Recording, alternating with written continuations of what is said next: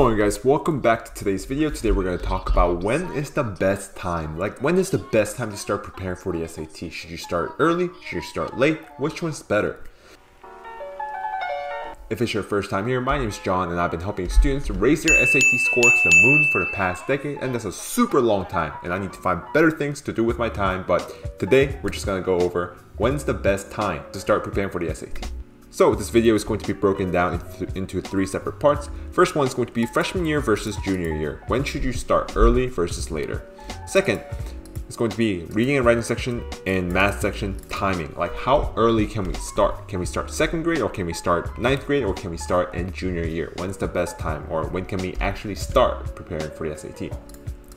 And lastly, I'm going to go over a way for you to prepare as efficiently as possible because the most important thing is GPA is the most important thing and you want to minimize the time that goes into SAT and maximize the result that you get out of it so that your GPA is not affected by SAT prep. Okay? So let's get straight into it guys. So let's get straight into it guys. First one is going to be freshman year versus junior year. Should you start as a freshman or should you start as a junior? A quick answer is you need to start as soon as possible. And here's why. Most of you probably heard that high school gets busier as you go up the grade. Freshman year is going to be not as busy as the sophomore year, but junior year is going to be super busy compared to sophomore year or freshman year. So the later you go into high school, the busier it's going to get and the less time you're going to have laying around to do anything you want. And let's say you start preparing it junior year when you're the busiest and you add SAT on top of it, Jesus Christ, that's gonna be so stressful and that's going to affect your GPA. And GPA is the most important thing when it comes to college admission. So you wanna start as soon as possible so that you don't have to stress about it and worry about it in later years. Okay. Second one is junior year. Junior year, junior year is super important because that's when you're loading up on your high um, honors classes and your AP classes. And to colleges, junior year is a great indicator on how you're going to perform when you come to colleges because AP classes are essentially college level classes and they want to see how well you perform in those classes.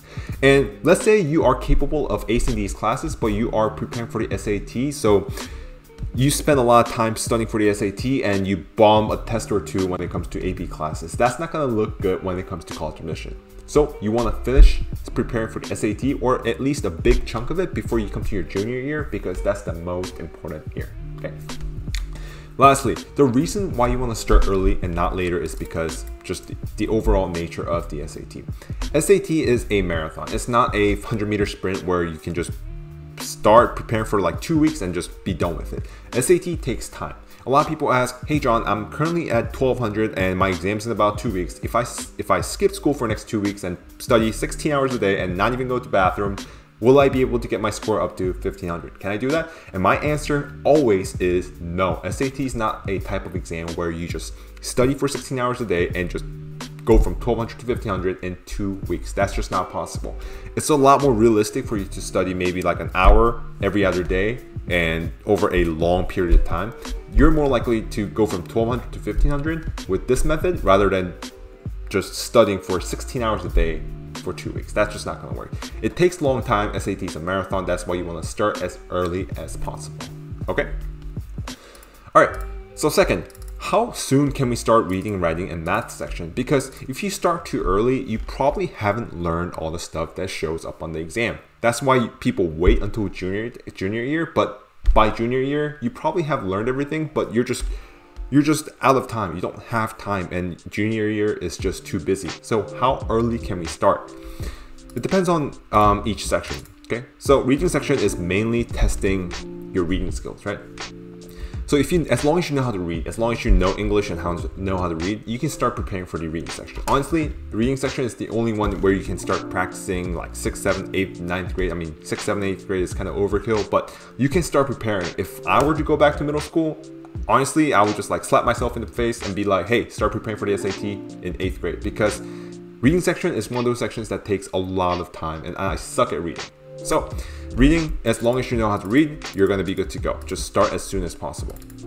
Writing section, what it tests is it tests your ability or your knowledge on grammars, okay? So every school is different, every state, every county is different. In my school, we finished learning all the grammar stuff in eighth grade. So my freshman year, I was I had every single knowledge I need to start preparing for the writing section. So just check when you're when you guys are going to be done learning all the grammar stuff. Okay, math. SAT math covers all the way from fresh, uh, your first grade up until algebra 2. Okay, so for everyone, algebra 2 is going to be different when, when they finish it. Some people finish like junior year, some people finish freshman year, but you want to wait until algebra 2 because SAT covers up until there. And let's say you are at maybe like Algebra 1, you don't want to start preparing for the SAT because there will be way too much stuff on the exams that you have never seen before and it's going to be like 10 times more stressful. Don't start. Are you at geometry? Because math goes from Algebra 1, geometry, Algebra 2, at least around, around my area. If you're at algebra, if you're at geometry, don't don't do it.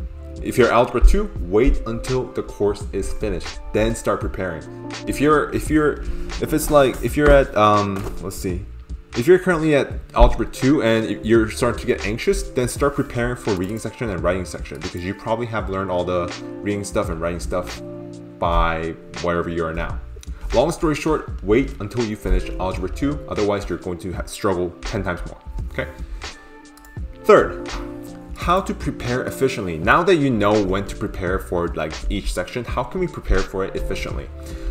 When it comes to efficiency, the most important thing is understand, understanding how super scoring works. And there's a video on it, I made it, and it's going to be linked that right there. And i I'm also going to leave a link in the description box below. I'm going to explain in detail how you can utilize super scoring to maximize your score without without going like without overkilling it. And if you understand how super scoring works, you're pro you probably came down to, okay, should I start with reading and writing or should I start with math, okay? My recommendation is start with whatever you're good at. If you're good at reading and writing, start with that. If you're good at math but stuck at reading and writing like I did, just start with math. Like just pick one and just focus on it, get the high score and then move on to the next thing, okay?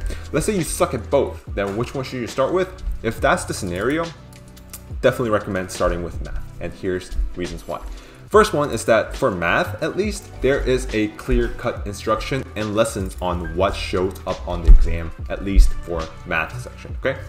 For example, let's say you suck at like exponents, quadratics, and triangles.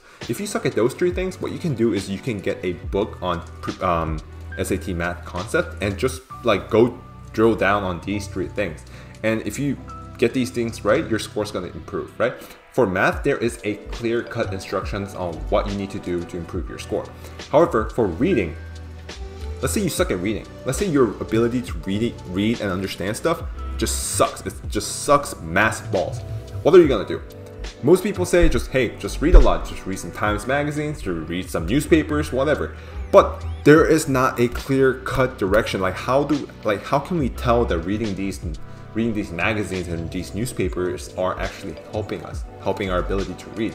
You, you can't, you can't, there's not a clear cut guidance on what to do for the reading section. Whereas for math section, there is a book, there is a concept that you need to look at, and if you look at those, you're good to go. It's clear versus it's not clear. That's why you want to start with math first.